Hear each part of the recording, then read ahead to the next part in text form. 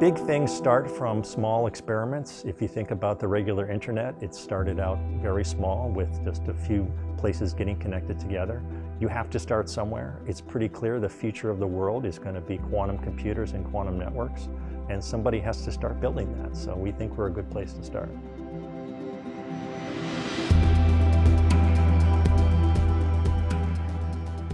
So quantum entanglement is one of these bizarre, very counterintuitive properties of quantum science, where information can be placed in two or more objects and created in this special way that when you separate these objects over very large distances, they remain entangled.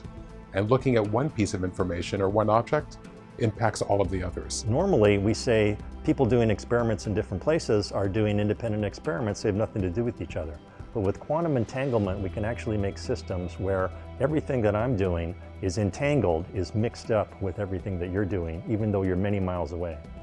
So the Quantum Link is an ambitious project where we're going to try and bring this property of entanglement into the real world and entangle objects 30 miles apart between two national laboratories. About a dozen years ago, the state of Illinois built an optical fiber network to link high-speed data centers in the state that was 12 years ago. For the last six years, portions of that internet have remained unused. So the path of the link goes between Argonne National Laboratory and Fermi National Accelerator Laboratory.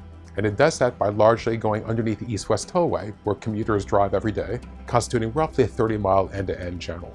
So we don't own this telecom fiber, but that's good. That makes this a real-world test of what a quantum network might be when this becomes the quantum internet that everyone will eventually use.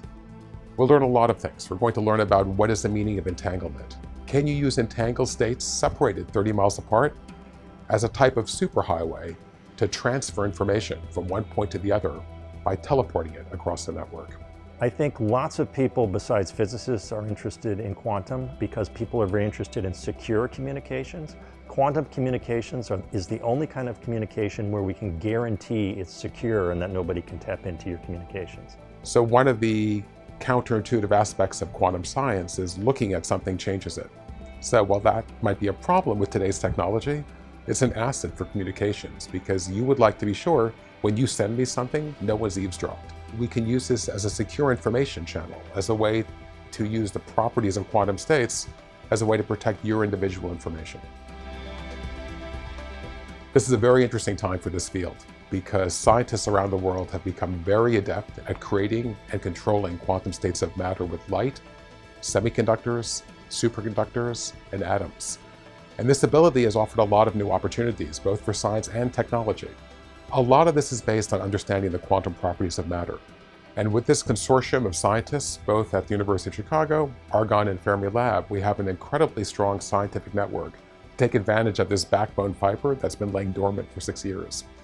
So some of this is serendipity, some of it is the field, but it's a really ripe moment in time to bring all of this together and do this in Chicago.